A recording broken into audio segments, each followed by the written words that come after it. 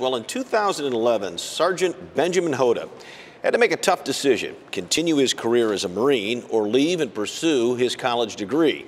After he received his undergraduate degree in just three years, Ben found himself at the University of Notre Dame's Mendoza College of Business, along with many other veterans across campus. Today, Ben joins us now for Notre Dame Day. And Ben, thank you very much for showing up here.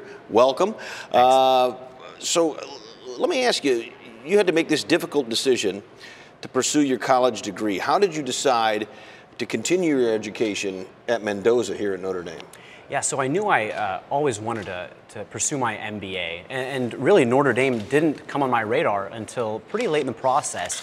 Uh, while I was at, working at Humana, I had a mentor named Luke Stephenson, a triple domer, who actually uh, promoted Notre Dame for me. And after just doing a little bit of research, it became a clear contender. And it really wasn't until I, I picked up the phone and, and made a few phone calls uh, and spoke to current students at that time that Notre Dame leapt to the top of the list. Uh, the quality of character with people uh, with whom I've interacted and their candid responses uh, really sold me on that and really highlighted the fact that the values of Notre Dame and the values of the military are very closely aligned.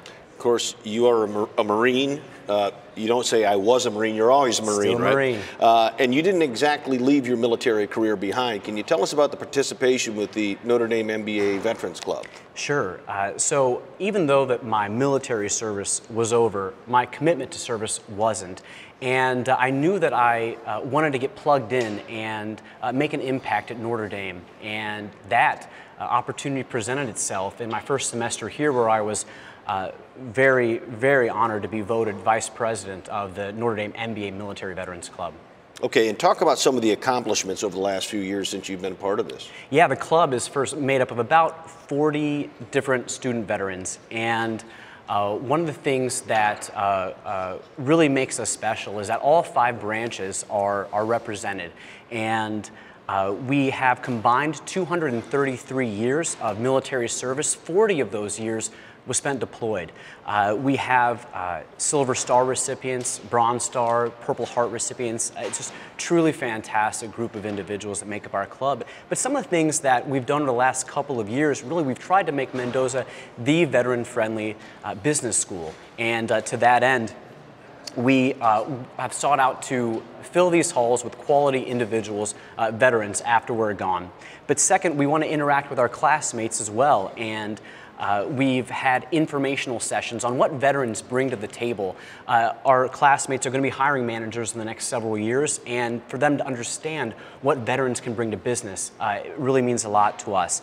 Uh, but lastly, we've wanted to step up our uh, our, our, presence nationally. And again, to that end, uh, last November we had our first ever Notre Dame MBA Veterans Preview Weekend, where we had veterans from all over the country fly into South Bend and really see what it was like to be a part of, of the Notre Dame community and, and, and, to be on campus. And I imagine some of them could literally fly in because I imagine a lot of these guys were, were uh, officer pilots. Yeah, uh, one, literally. One last question. Notre Dame has a reputation of reaching out beyond the campus boundaries uh, reaching into the community. Is that the same thing with your organization as well? Most definitely. Uh, we really seek to uh, make a real, a real impact with our with our local community. And we've done that in, in a few in, in, a few ways. I'll highlight a couple.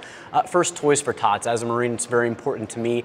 And uh, last December, we were able to uh, raise over 300 different toys for disadvantaged youth in our area. But we also partnered with South Bend Brew Werks, who made for us an American Veterans Pale Ale uh, and the proceeds of which went to support Blue Star Moms. And they are an organization that uh, uh packages, uh, care packages and send, sends them uh, overseas to deployed service members.